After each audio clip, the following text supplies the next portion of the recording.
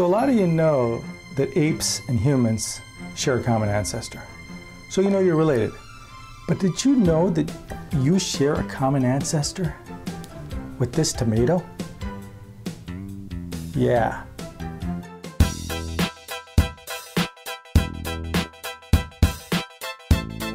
You're all related because you share a common ancestor. In this case, a grandmother or grandfather or great grandparent.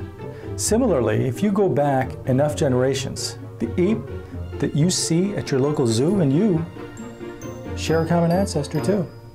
But it turns out that our relationship to other living things goes much, much deeper than that. You see, all living things share the blueprint of life. That blueprint is a molecule called DNA. This orangutan and I share 97% of our DNA. And this chimp shares 99% of its DNA with me and you. But you probably already knew that, right? That we all come from apes. Well, to be more accurate, we share a common ancestor with apes that lived probably three to six million years ago.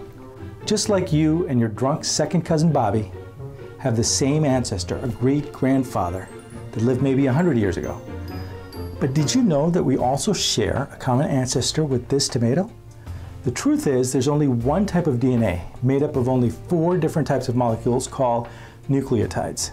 And all living things are based on the same DNA. It's no different. The only difference is the sequence of these nucleotides. By sequencing the genes of various organisms, researchers have found that all living things, plants, animals, worms, your dog, your cat, share common DNA sequences. So this confirms the mind-blowing truth that all living things shared a common ancestor. This common ancestor lived three to four billion years ago when Earth was in its infancy. Life was just getting started. This was probably a one-celled organism, and all the diversity you see on Earth today comes from this one-celled organism.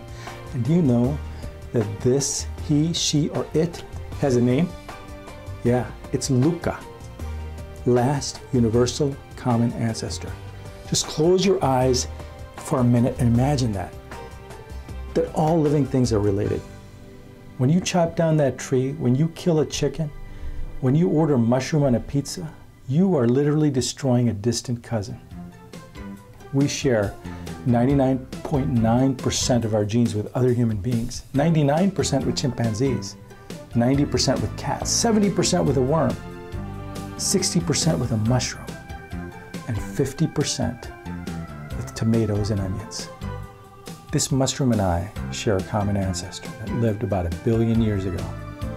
It was later that mushrooms and animals like us went on a separate evolutionary path. Ever notice how eating a mushroom feels more like eating a chicken than a salad? This is not a coincidence.